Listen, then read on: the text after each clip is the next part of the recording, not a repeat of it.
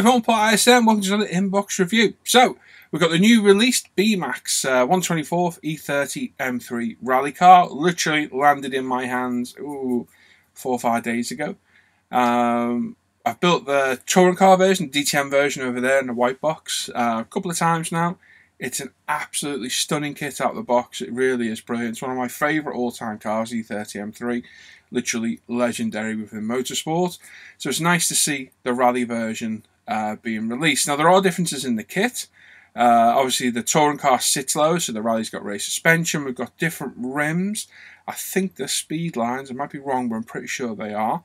Uh, got different tyres. We've got the roof vents. You're going to get two seats in there. Uh, it's got a slightly different spoiler as well. And there's going to be a few more differences as we go. I'm not going to do a side by side. I don't want to do that uh, but I'll try and pick out the differences as we go. I've also got the detail upset, which I did add the first time I built the touring car version. Um, I didn't use it the second time round, but on this one, I think it's worth adding. Uh, it's actually the Bastos scheme on the box. You're not allowed uh, tobacco or cigarette sponsorship anymore, so they don't include them in the box by law. Um, but Beemax have got around this by supplying the B, the Bastos decals in the detail upset. So I think it's 12 to 15 pounds. The detail upset includes uh, photo etch for the discs. You get full belt set in there as well. Obviously the extra decals. So it kind of is worth the money on this one. Ordinarily, I'd actually say the kit really doesn't need the detail upset. Only for the belt, really. But if you've got your own way of making them like I do, you don't really need it. But for the Bastos decals, you want to do the box scheme, I think it's worth getting. Um, there's loads, well, there's about half a dozen at least rally schemes aftermarket decals out there at the minute. Hopefully, we'll see some more. Uh, I plan to grab a few more of these as we go. Um, and it's a great kit. Honestly, I can't recommend the touring car version enough, and I got a feeling the rally car version is going to be just as epic as well. Like I say, the E30 M3 is an epic machine. Always was, always will be. And um, yeah, it's nice to see a rally version of it finally. So there we are. So let's over to the bench, have a look, and see what we think. Right, so there we go. There's the Boxer, absolutely beautiful looking machine. Uh, in action with its co-pilot and driver uh, on a tarmac stage. Absolutely fantastic. Um, on the side of the box, we've got a side profile of the car. We've got all the paints required just there. And I have a little looky see. Uh, you probably won't use half of them, I'm not going to lie, uh, from personal experience, but they're there if you want to have a look anyway. Side of the box, same picture, they've got the kit number, it's number 18, uh, 1050614200, or B24016, I think that's actually the kit number there. Um, there we go, and on the other side you've got a front rear view, stunning looking car, and the optional extra set as well, which shows the PE, the antenna, I forgot that was in there. The seatbelt doesn't mention the uh, decals though. No, actually doesn't at all. Um, and that's it. So inside the box, if we whip it open, nice strong sturdy boxes as well. No issue with these in the stash at all. Uh, we've got the detail upset, which we'll get to later on. Um, we've got our decals, lovely. Bit of photo etch in there as well which is nice to see. Take a bit of room, give me a sec. We've got the body shell, which will move over there. We've got the rims, which do look like speed lines to me, five studs. We've got the glass parts.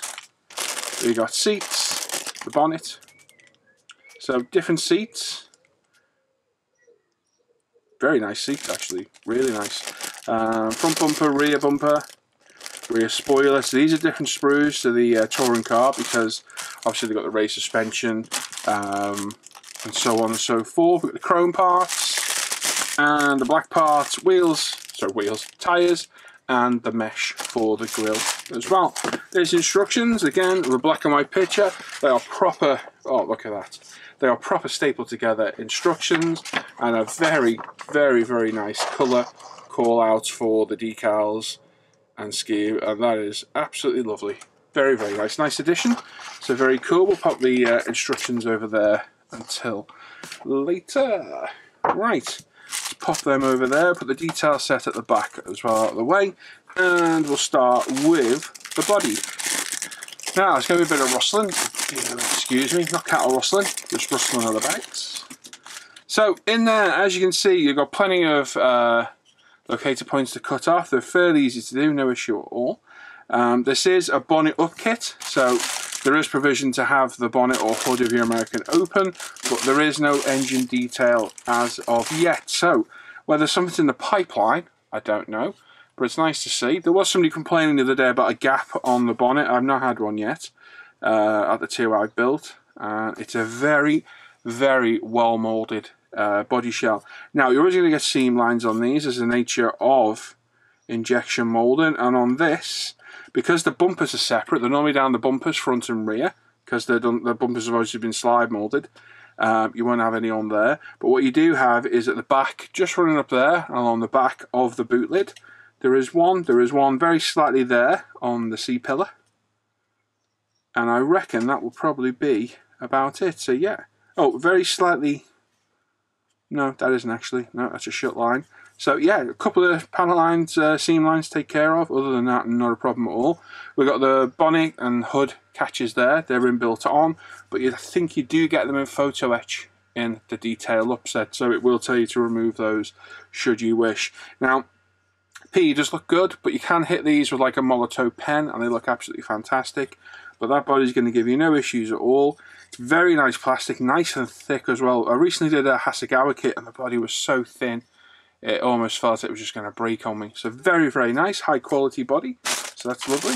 We'll start off with all the main parts now. Again, excuse the rustling. I'm uh, I'm going to rip the bags open. It won't be going back in its bag. It's getting built very, very soon. There we go. So, we've got the main chassis, which is there. We've got the dashboard, which is left-hand drive. Brake discs, which are cross-drilled with AP Racing calipers, they look like. Uh, we've got cross members underneath, we've got window wipers, tow hooks, uh, gear shifter, the roof antenna, which the actual uh, detail part is a lot better. And the lower transmission, lower engine detail there as well. So it looks good. There's minimal cleanup just on the locator tabs, the sprue tabs. No bother at all. No ejector pin marks underneath whatsoever to remove. They are inside where you're not going to see them because um, it is a tub for the interior. And the under detail isn't bad at all. Um, transmission looks good. There's plenty of detail. Once you paint that up, hit it with a wash, it's going to look very good. And if we come in close, we have a little look at things like the calipers and what have you. So there, as you can see, they're cross-drilled. AP Racing. Very, very nice. Obviously, they're only going to be detailed. They'll detail both sides. Wow. Okay, fair enough. Never usually are, but they are. There's part of the rear uh, differential. Drive shafts. Very nice. We've got the dashboard there. Which again, nice bit of detail. Obviously, it's a 1980s car, so it's a pretty simplified dashboard. And of course, it's left-hand drive because these all were left-hand drive. Uh, they could be converted to right, but I believe it kind of ruined the car. But as a Motorsport Edition, these are all going to be left-hand drive.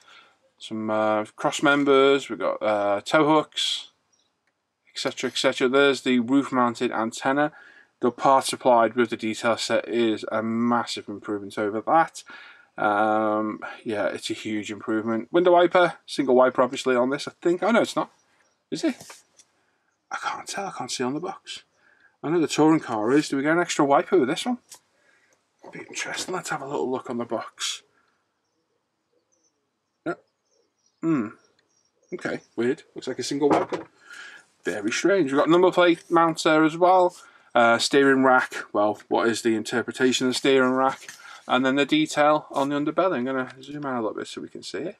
Normally I have two cameras. It's, it's become a bit of a chore lately. So I'm sticking with the one and I'll zoom in as and when I can. As you can see, the transmission and the lower half of the engine is pretty well detailed. You're going to have to brush paint it or careful mask it off, but once you do and get a bit of a wash in there, it's going look well. The rest of the detail is good. We've got some kind of cooler there. I'm not actually sure what it is, whether it's oil or what. I'm going to assume it's an oil cooler. Uh, I don't know though. But the detail is quite good. So overall, fantastic on that. No problem at all. Zoom out a little bit, have a look at this one. So this one is the roll cage, and we've got the chassis tub as well, and the door cards on there as well. Door cards, very simple. Uh, obviously, is a motorsport car. And interior is basically what a stripped out car would probably look like. uh, with our carpets carpeting, etc. So there's no real, you know, details to write home about. What I am noticing is there's no location for the passenger seat, obviously because this is a touring, it's a single seat. So it'd be interesting to see what we've got to get around that, which is, yeah, it's built into the seat. Oh, okay, very clever. Roll cages there. Uh, we've got the usual seam lines down the centre. Uh, it can be a bit laborious cleaning up the roll cage, but it's pretty simple. No real bother at all. Steering wheel is nice, typical M3 steering wheel. Uh, your instruments are there as well, gear shifter, interior mirror, etc. So other than a bit of cleaning up on the roll cage, because it has a centre seam on every single part, um, can be a bit tricky to get in there with a sander, so I use a knife, the back of a knife, to scrape it off and clean up as much as I can with the sander or the Suji files, which are very handy. So there we go, nice detail on that too. Uh, we'll go for this one next, because we've got the bonnet, or the hood if you're American. And obviously we've got our racing seats as well. Now like I say, the touring car kit, the DTM machine, does come with a single seat.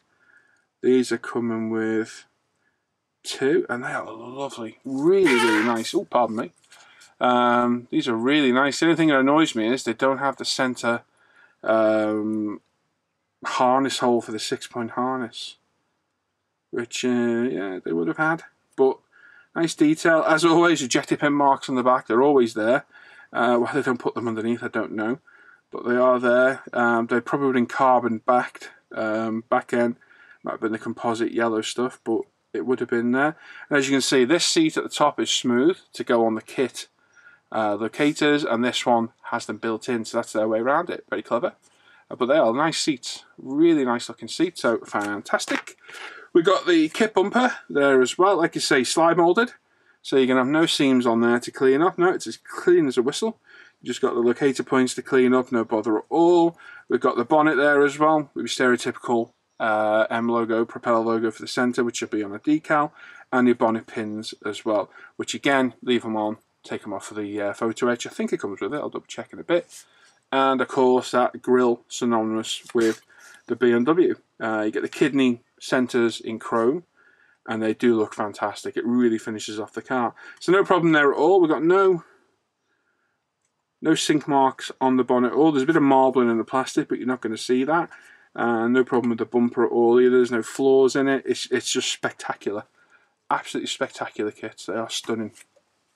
Very, very nice. Right, this one, so we've got front bumper, we've got different discs, so I'm assuming they're giving the rally car some different discs. We'll have a look through the instructions in a bit and maybe spot that. These bags are a pain, they're good though. They're very tightly packed. So in there we've got two things. Absolutely no idea what they are. We'll figure them out in a bit. We've got the revised raised suspension of this car. Obviously, it sits a lot higher than the uh, the touring machine. We've got the roof scoops as well, which, to be fair, they're a little bit thick. Um, they can look a bit unrealistic. So if you can thin them out, even if it's just at the front, it'll look a little bit better. Um, or what I like to do is have one up, one down. I did that on my uh, Subaru and it looked good. Uh, we've also got tow points, the mirrors, and uh, what looks to be the onboard computer, is it? Yeah, it could be. But again, no problems there at all. All nice and clean, crisp, beautifully moulded, absolutely stunning. Really nice. Uh, so you've got a bit of clean up on, depending on how much you're going to detail it. There are seams around the edge, or on every one of these are built. And where your spring is imitated, there's a little bit of a seam in there as well to clean up. But no real difficulty at all. absolutely no idea what they are. They're a blank for something. Are they a blank for... Looks like there's intakes on the bumper. Indeed it is. They are blanks for the front bumper. So there we go. Front bumper's lovely. Obviously you've got your indicators there. Um, they, I'm going to assume, a brake cooling vents, are they? It must be. They're blanked off on the rally car. You've got the rear spoiler, which is different on the rally car.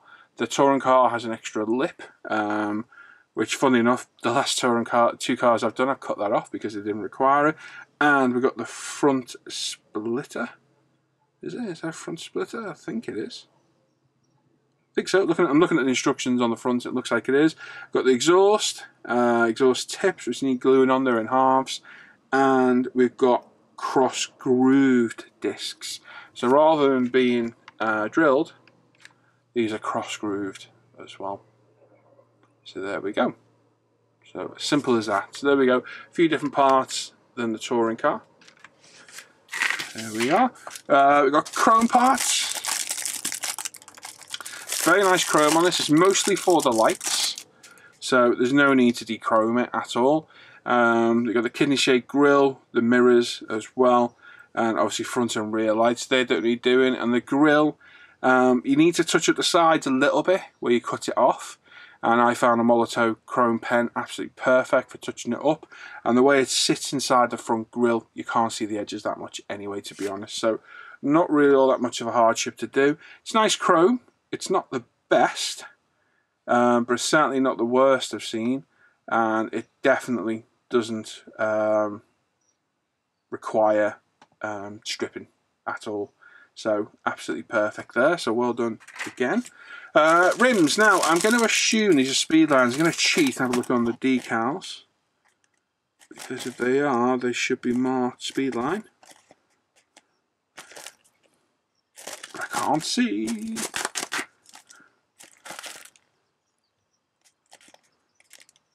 Nope, I can't see, but they do look like speed lines to me. Maybe become more apparent later when we look at the instructions, we'll see. Let's whip them out the back and have a look.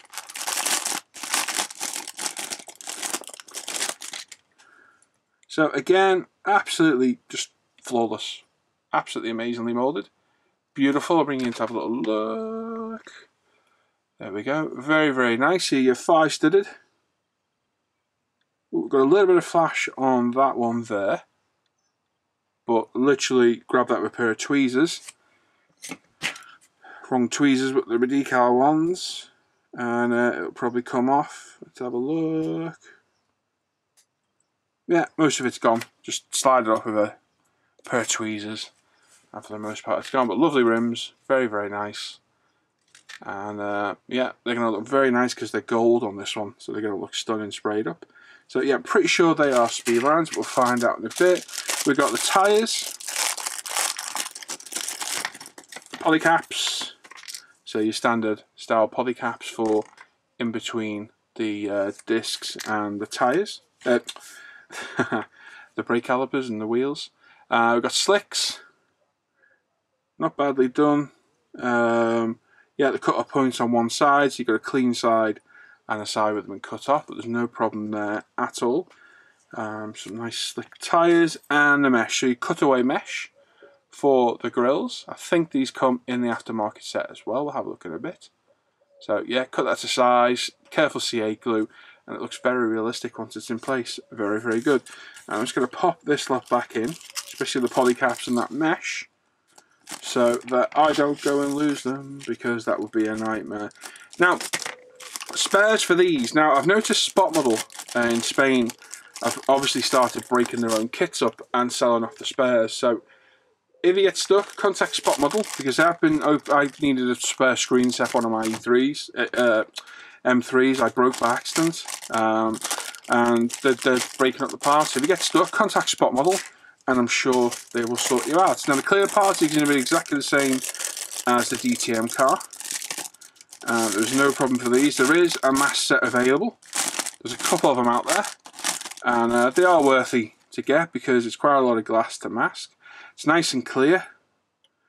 Uh, there's no obvious distortion. It's nice crisp. Uh, you got a few locator points, uh, screw points to cut off, uh, front rear light lenses, headlights, all very nice, and no problems there at all. It's very nice, very clear, minimal distortion, but they do need masking and painting black on the inside, by the way. So you get that nice effect on the glass. So again, no problems with the glass. And again, I'm going to put this back in the bag as I always do with glass, just to keep it safe. So let's have a look at the decals next. Now there's a bit of P in here, like I say. I'm not 100% sure what it is because I haven't really looked.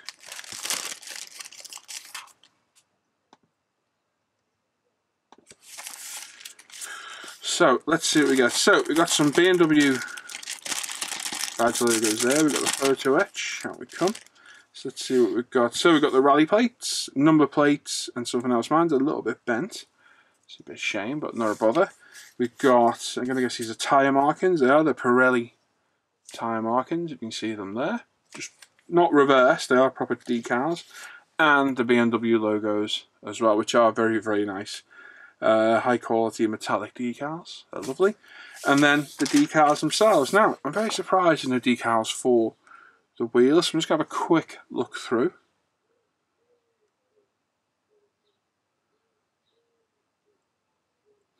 No, can't see any at all. Very strange. The decals look good. Obviously, you've got all the red for the Bastos scheme on there, including these giant decals down the side. As long as you're careful with them, they'll come off fine. You can also get uh, the Bastos colour from likes of Hero Boy, which I've got as well. But for me, uh, I think we're having these check bits at the back. I'll use the decals, to be honest. And um, I've not actually used... Have I used Beemax decals yet? Don't think I have. I know Sam did, my buddy Sam, he had no problem with them whatsoever. There are some marks to the uh, backing paper where they've been obviously pressed in the box, but other than that, they look very good. Um, I can't see there being any dramas with them. You've got nice M3 logos. You've got belts in there as well. So obviously you don't buy the detail upset, you do have some decal belts. You don't look the best, but they're alright. You've got the rally plates, uh, Tour de Corse. Uh, number plates, obviously the numbers for the cars, some sponsorship decals. And the drivers, let's see if we can butcher these drivers' names. So you've got Jean Bernard, uh, V, Viu, is it View? And Bernard Beguin, and Francis Chateau, uh, Michael Perrin. I probably butchered their names, so sorry if I did. Um, but yeah, decals look good. They don't look too bad. There's not a massive amount of carrier film on all the the bits. I like to these numbers and that that you could separate. There is a bit of carrier film between them and obviously that will help them lay down but I can't see them being an issue there's no maker's mark on there so I'm not sure who the manufacturer is but they look to be very very high quality so I can't see that giving you a drama at all and again we're going to pop these back in their bag and I'm like a broken record so nice to get the BMW decals as well obviously they take licensing and probably cost the company a fortune to get um, but they are there and they are very nice. I have used those ones before. They lay down pretty good. So I'm going to pop them back in. The PE looks good. Like I say, they've got the proper rally plates there and PE. I'm not going to take them out to the point. And we've got the tyre markings as well.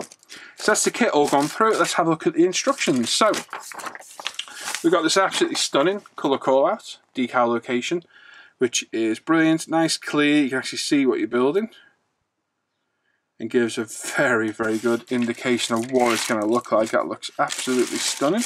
Um, so, yeah, nice addition there. You don't always get that with the kits. It's normally black and white for some reason. Um, right, so we open it up. We've got some information from a bumblebee. You can buzz off. That's about. There are all the colours over there as well. There's a full list of them listed in Japanese, English, German, French, and Chinese. Okay, and they give out the Mr. Hobby Aqueous, and Mr. Colour, and the Tamiya callouts as well. So it's white, red, silver, gold, flat black, steel, shine red, neutral grey, burnt iron, tire black, sandy yellow, clear red, clear orange, clear blue, and semi-gloss black. There's also a guide on applying the decals there as well, and an explanation of the legends included in the kit along as well. You've got painting there as well. Um, I think this is calling out for, is it that shine red, which is H23? Yeah, it's quite a nice red. Um, so you probably get away with that on the car. And then we're starting off with paint instructions for the car. So why are we painting that there? Give me a sec. Okay. What the hell? right, it's telling us to paint stuff there when I've got no idea why we need to because there's the body and there's nothing on the roof. Unless I'm going mad. Paint instructions for body. Okay. Right. Okay, no idea what's going on there, so we'll ignore that. Start off all the transmission, cross members, paint up the engine, Uh, all the under chassis as well, getting the exhaust on, so on and so forth. Instructions are nice, clear, they're well laid out, nice and concise, not too busy, not very confusing at all. Uh, you've got applying the front and rear tyres, so they're off front and rear, so you need to be aware of that. Popping in those polythene sleeves. Um, and obviously it comes to, oh hang on. Nope, it's not. Um, so these bits in the darker colours, these are the aftermarket legends for the detail set, which we'll get to in a set. I should have got that to that before this, really, but I forgot. Um, yeah, so these are the P for the other parts, which we'll go and have a look in a minute. Uh, we've got paint up the seats, obviously getting the seats in place. Harnesses. So this is building the harnesses that come with the detail set. It looks like it's a nightmare. It's not actually that bad. And it shows the harness coming through the front of the seat. I have to look, but I'm pretty sure it'll come through the middle of the seat, but I might be wrong. Assembly the roll cage, dashboard, so on and so forth. Uh, getting the door cards in place, front and rear bumpers assembly, the grille, uh, drilling holes for the roof. So obviously you can have holes in the roof for what I'm assuming are the roof vents and the antenna. Uh, using the aftermarket bonnet pins, so you need to remove the ones that are moulded on. Quite simple really. PE towing hooks as well. So yeah, it looks like there's quite a bit in that detail set. Masking the windows. Obviously the windows go on from outside on this car as well. Get the boot spoiler in place. Uh, we've got some P ah, we have PE in the detail set for the roof vents. So, ah, even better. There's PE roof vents. So there we go. Problem solved. You got much thinner roof vents. Excellent. Well done, Beemax. I like that a lot. I like it a lot. Sounded more like Arnie than um, yeah. Anyway, uh, I got window wipers in PE as well. And uh, I'll tell you now, just for those alone, that detail set's worth it. You can make it yourself out of some sheet if you wanted. Uh, and obviously we've got mud flaps as well that come with the PE set, which we'll have a look in a sec. And that's it. You've got parts layout on the back. Uh, so there's one, two, three, four, five, six, seven, eight, nine, ten sprues, including the body shell, your decals, tyres, mesh, yada yada yada. And on the back there is information about getting replacement parts. But trust me, go to Spot Model, they'll sort you out. Right, so there's what you get in the kit. And this is what you get in the aftermarket set. So we'll get it all out and have a little look. Again, I've got a quick glance through. I've not really had a proper look. Now, do we get instructions? Do we? Right, so number one, I'm not going to get it out because I end up getting lost. Um, but we have the antenna in there. Let me move that because it's whitening everything out. Now, if you can see that in there, there is a super fine sprung antenna and its body mount there as well. And it's a massive improvement over the kit part. Truly a massive improvement. So well worth it for that. It's properly sprung, it's got a proper body mount, and that's going to look absolutely fantastic on the car. The kit one isn't a patch on that part at all. We're better off stretching some sprue. Um, but that is stunning, absolutely lovely. You get some red ribbon material, probably getting about 18 inches of it there. We've got the PE itself, which I'll take one piece off. Now, this is the amazing PE, which doesn't need cutting off. It's held on the back by a sticky bit of plastic, which is great. So in here, I'm not going to know all the parts, but I'll tell you what I do know. You've got bonnet pins, you've got buckles for the seat belts there as well. Um, you've got other parts of seat belts, got a fuel filler cap, which is lovely, really is nice.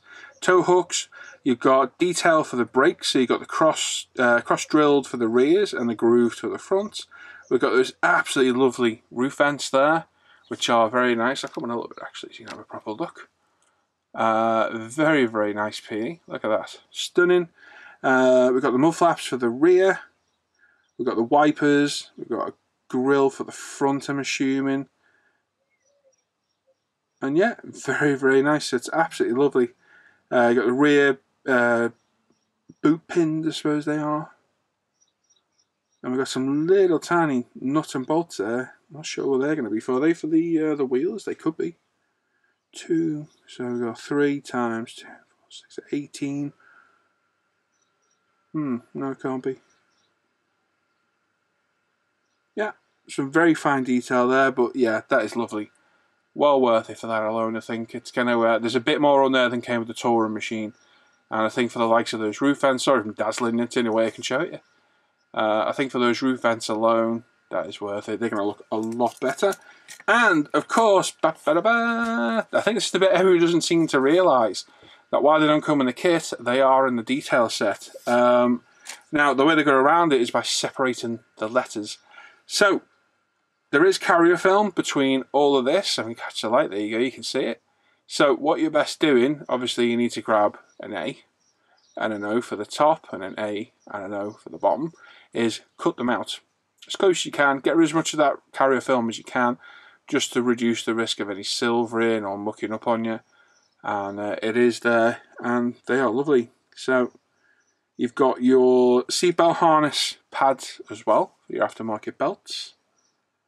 And the full Bastos library there as well. So again, like I say, from what I've seen, nobody seems to realise this is in the detail set. I spotted it on the Beemax site, and that's the reason why I added it. Uh, and to be honest, I did say that if I buy another one, I probably won't get another detail set, but I think I will. I think this one warrants it. I think it's a bit better. Um, with the roof vents and so on and so forth, I think it adds a bit more detail to the kit at minimal cost.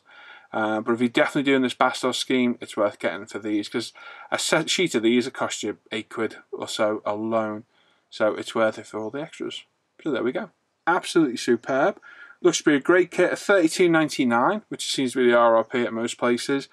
Absolutely fantastic value for money. And uh, yeah, absolutely great. The detail up set, I think, was about £15. I forget now. My apologies.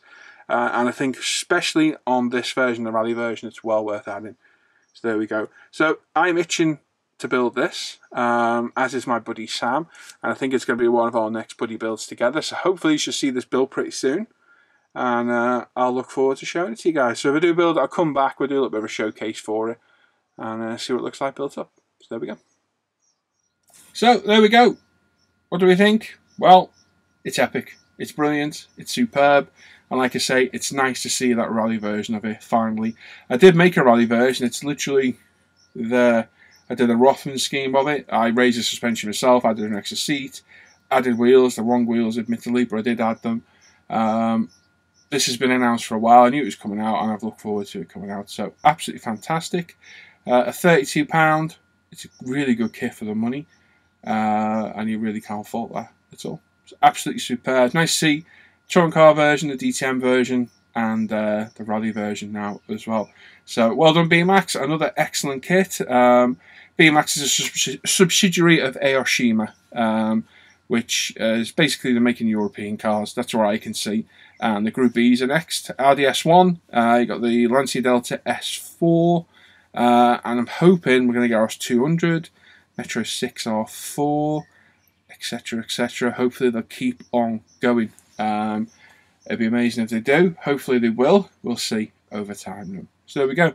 So another worthy addition to the stats. Like I say, I will be adding more to these as I go. And uh, hopefully we'll see some more aftermarket schemes as well. I've got a few already. And there's a few more to get. So really looking forward to getting those. So brilliant. Top marks off me. Like I said, that detail up set, well worth the money for the extras.